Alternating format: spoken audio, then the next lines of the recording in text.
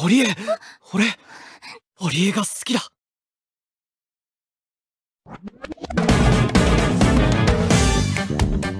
私には男の性欲に構っている暇はない。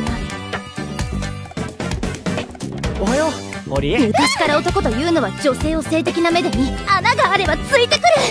木島が私に近づいてくるのはゲスなことを考えているからだ。例の彼と。はどうもこうもないけど。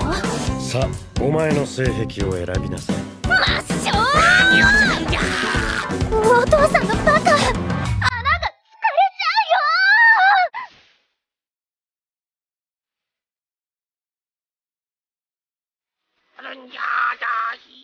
ちゃうよ青今日のところは頼む。矢部さんそうしないと連載が落ちる。絶倫でしょ。誰が絶倫だ。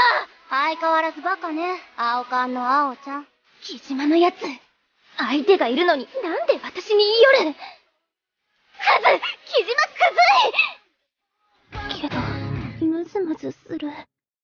みだらなおちゃんは勉強ができない。2019年4月5日放送スタート。